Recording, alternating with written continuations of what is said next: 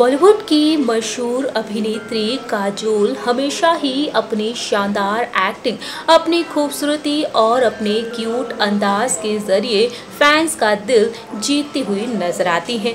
आज भले ही काजोल 46 साल की हो चुकी हैं, लेकिन आज भी काजोल की खूबसूरती का बोलबाला है। वेल बताना चाहेंगे आप सभी को कि काजोल जहाँ एक और अपनी खूबसूरती के ज़रिए फैंस के दिलों पर राज कर रही हैं तो वहीं आपको जानकर हैरानी होगी कि काजोल को बहुत ही लंबे समय के बाद एहसास हुआ कि वह बहुत ही खूबसूरत हैं। जी हाँ दोस्तों, काजोल ने अपने एक इंटरव्यू में बताया था कि उन्हें पहली बार अपनी खूबसूरती का एहसास कब हुआ था।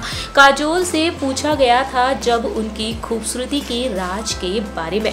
उस दौरान काजोल ने अपने एक इंटरव्यू में कहा था कि मुझे पहली बार इस बात का एहसास तब हुआ जब मेरी बेटी का जन्म हुए, करीब छः महीने बीत गए थे। खुद को आईने में देखकर मैं हैरान रह गई थी। काजोल ने बताया था कि मैंने 15 से 16 साल की उम्र में फ़िल्मों में काम करना शुरू कर दिया था।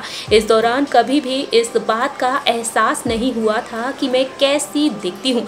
मैं काफ़ी कूल टाइप की लड़की थी और एकदम बिंदास रहकर जीना पसंद करती थी। कहूँ तो मैं काफ़ी बेपरवाह थी, लेकिन काजोल ने बताया कि 19 से 20 साल की उम्र में जब मुझे कॉम्प्लीमेंट्स मिलना शुरू हो गए। लेकिन काजोल ने बताया कि जब 19 से 20 साल की उम्र में जब मुझे कॉम्प्लीमेंट मिलना शुरू हो गए थे कि Kajol you are so beautiful you are so pretty तब मैं इस तरह की बातों को इग्नोर कर दिया करती थी। लेकिन काजोल ने बताया कि मेरा मानना था कि मैं खूबसूरत नहीं, बल्कि कूल हूँ।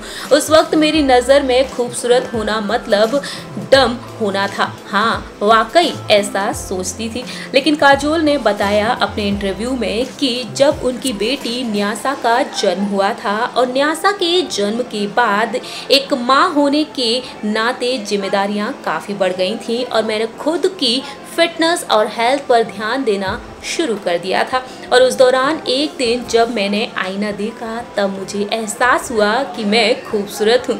जी हाँ काजोल ने बताया कि जब मैं आईना देख रही थी तो मेरे दिमाग में अचानक से ये विचार आया वाह I am so beautiful I am so stunning यकीन मानिए कि वो मेरी ज़िंदगी का पहला दिन था कि जब मुझे अपनी खूबसूरत होने का एहसास हुआ था। खास बात ये है कि उसके बाद मैंने नोटिस किया कि सुंदरता को लेकर पहले से ही कहीं अधिक कॉम्प्लीमेंट्स मिलने लगे हैं।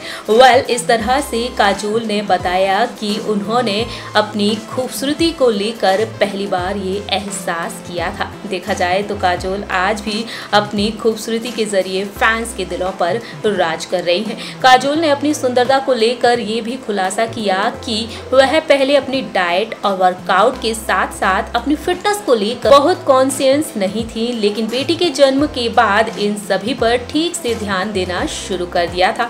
इसलिए मैं सभी महिलाओं को यही सलाह देना चाहूँगी कि आप पूरे घर और परिवार को ध्यान में रखती हैं, लेकिन थोड़ा समय खुद के लिए भी निकालें। अपनी सुंदरता को निखारने के लिए अपनी डाइट पर ध्यान दीजिए और एक्सरसाइज ज़रूर करें।